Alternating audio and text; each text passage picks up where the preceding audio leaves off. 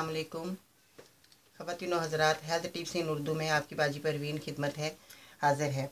और मैं आपको एक नए नुस्खे के साथ आपको ये जो मैं अब मेरी चीज़ें देख रही हैं, मैं नए नुस्खे के साथ आपको बता रही हूँ कि जो कि आज, कल बहुत ज़्यादा हमारे मुल्क में शुगर के मरीज़ हैं। शुगर एक ऐसी मर्ज़ है जो कि इंसान मर जाता है तो शुगर नहीं ख़त्म होती। तो मैं आपको जो ऐसा नुस्खा बताऊँगी जो कि शुगर के मरीज़ों के लिए बहुत बेस्ट है।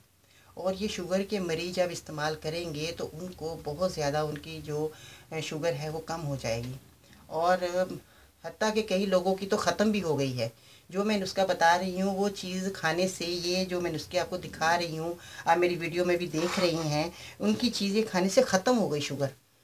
और उनको इंसुलिन तक जो लोग पहुँच गए थे, उनकी शुगर इंसुलिन से हट के वो शुगर ख़त्म हो गई उनकी, बिल्कुल। इंसुलिन तो बहुत दूर की बात है शुगर ये खाते ही उनकी शुगर ख़त्म हुई है। और ये मेरा आजमाया हुआ नुस्खा है जो मैं हर मरीज़ को जो शुगर के हैं मैं उनको बताती हूँ तो उनको बहुत फ़ायदा हुआ है। और मैं इसीलिए मैं आपको भी बता रही हूँ और ये मैं दिखा भी रही हूँ जो कि आप शुगर के मरीज़ को दे सकते हैं। और शुगर के मरीज़ जो है वो चलने फिरने से भी बहुत ज़्यादा मजबूर हो जाते हैं कि अभी हमसे चला नहीं जाता, हमारा सांस फूल रहा है, हम वॉक नहीं कर सकते, हमारी हड्डियों में दर्द हो रहा है और हम खाने पीने का परहेज़ हो जाता है कि हम मीठा नहीं खाएँगे। तो मैं आपको मीठे का भी बताती हूँ कि हम मीठे में दो खजूर खा सकते हैं। इसमें ये नहीं है, जो मैं ये दवाई बता रही हूँ, आप मीठे में दो खजूर भी खा सकते हैं, जो डॉक्टर मना करते हैं कि मीठा नहीं खाना। मगर मैं आपको गारंटी के साथ कहती हूँ कि आप मीठे में दो खजूर खाएँ। अगर आपको शुगर ज़्यादा है तो आप दो खजूर भी खा सकते हैं। इसमें आपको कोई भी ऐसी बीमारी जो कि शुगर में जो कहते हैं खानी नहीं है और हर बीमारी में कहते हैं ये चीज़ का परहेज़ है, वो चीज़ का परहेज़ है, मगर मैं आपको जो बता रही हूँ, वो आप दो खजूर भी खा सकते हैं मीठे में और ये दवाई भी मेरी इस्तेमाल कर सकते हैं। देखें आपको शुगर कहाँ तक जाता है और बिल्कुल आप बहुत अच्छा फील महसूस करेंगे, मगर मेरा आपको एक ज़रूर बताती हूँ कि आपने एक घंटा शुगर के मरीज़ ज़रूर पैदल चलें। क्योंकि पैदल चलने से दवाई बहुत असर करती है और शुगर के मरीज़ों के लिए बहुत अच्छा है पैदल चलना। देखिए नाजरीन, जो शुगर के मरीज़ हमारे मुल्क में बहुत ज़्यादा इतने परेशान हैं और खाने पीने से इतने परेशान हैं, अल्लाह ताला की इतनी नेमतें हैं जो हम खा नहीं सकते और शुगर के मरीज़ बेचारे इतने परेशान होते हैं कि हमारे को जी डॉक्टर ने मना कर दिया है। मगर मैं आपको जो नुस्खे के साथ मैं आपके सामने हाज़िर हुई हूँ, ये शुगर के मरीज़ दो खजूर भी खा सकते हैं और वो ये दवाई भी इस्तेमाल करें। देखें आपकी शुगर कहाँ तक जाती है, आप खुद देखेंगे कि हमारी शुगर कहाँ गई। तो मैं आपको ये नुस्खा बहुत आसान है और बहुत ही कारामद है और जो हमारे घर में ये मौजूद है चीज़ें, आप यही इस्तेमाल करें आपको ना। और ये हकीम जो है, ये भी आपको इतनी दवाइयाँ बता देते हैं, ये खाएँ, वो खाएँ, मगर आपको जो मैं नुस्खा बता रही हूँ, आप ये इस्तेमाल करें, बहुत से मरीज़ों को आराम आया है और बहुत से लोगों ने ये नुस्खा इस्तेमाल किया है। देखें नाजरीन, आप ये देख रहे हैं, ये ज़ीरा है। देखें जो हम अपने इस्तेमाल करते हैं किचन में। जो हर खाने में हमारे ज़ीरा इस्तेमाल होता है, गर्म मसालों में ज़ीरा इस्तेमाल होता है और ये देखें हमारे, ये मेथी दाना है।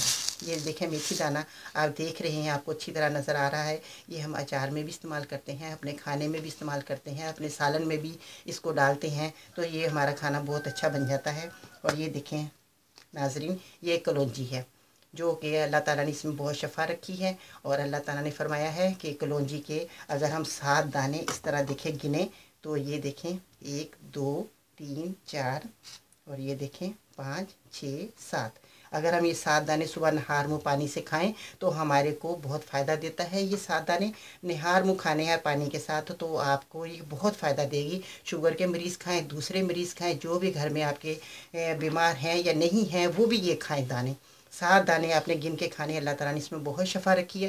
क्योंकि रसूल पाक सल्लल्लाहु ने फरमाया है कि सात दाने ही खाने हैं। तो ना नौ दाने खाने हैं, ना बारह दाने खाने हैं। देखें, ये सात दाने आपको मेरे हाथ पे दिख रहे होंगे। तो आपने ये सात दाने बिल्कुल लेकर पानी के साथ खा लेने हैं। सुबह पहले ये खाएँ, फिर आप नाश्ता करें।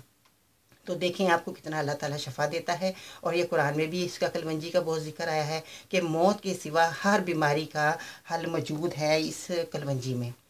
आप देखें, मैंने ये कलवंजी ली है और मैंने इसके अंदर, मेरे पास ये तीन चीज़ें मौजूद हैं और एक चीज़ जो है गुड़ मार बूटी। देखें नाजरीन, गुड़ मार बूटी जो है वो हर पंसारी की दुकान में मिल जाएगी और वो बासानी मिल जाती है। आपने गुड़ मार बूटी लेनी है पचास पचास ग्राम ये चीज़ें लेनी है तीनों और गुड़ मार बूटी जो इस वक्त मेरे पास मौजूद नहीं है, वो मैं इन ताला आपको अगली वीडियो में ज़रूर दिखाऊँगी और वो गुड़ मार बूटी है, वो आपने ये लेनी है और ये गुड़ मारबूटी इसके साथ आपने ऐड कर लेनी है। आपने गुड़मार बूटी को, वो होती है डंडियाँ होती हैं और पत्ते होते हैं उसके। छोटे छोटे पत्ते होते हैं गुड़मार बूटी के और वो ऐसे जैसे जो शांदा हम लेते हैं, मैं आपको कैसी शक्ल बताऊँ, जैसे हम पुदीने के पत्ते होते हैं, उसके साथ डंडियाँ होती हैं।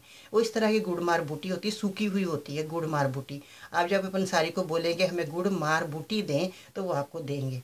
तो आपने पंसारी से वो लेकर आपने पचास ग्राम गुड़मार बूटी और ये आपने पचास ग्राम ज़ीरा और मेथी दाना पचास ग्राम और कलवंजी में ये जो है पचास ग्राम। आपने इन तीनों चीज़ों को और गुड़मार बूटी चौथी को आपने पाउडर बना लेना है और जब ये पाउडर बन जाए अच्छी तरह तो आपने इसके तीन टाइम आपने खाने के बाद सादे पानी से आपने एक चम्मच आपने ये लेना है। ये नुस्खा जो मैं आपको दिखा रही हूँ, गुड़मार बूटी, ये जो है ज़ीरा और ये मेथी दाना और कलवंजी। आपने ये चारों चीज़ें लेकर आपने पीसनी है, पीस के पाउडर बना के आपने एक तीनों टाइम पानी के साथ आपने एक एक चमचा आपने ये खाना है। तो इन ताला देखें आपकी शुगर बिल्कुल ख़त्म हो जाएगी। आप ये ज़रूर उसका इस्तेमाल करें।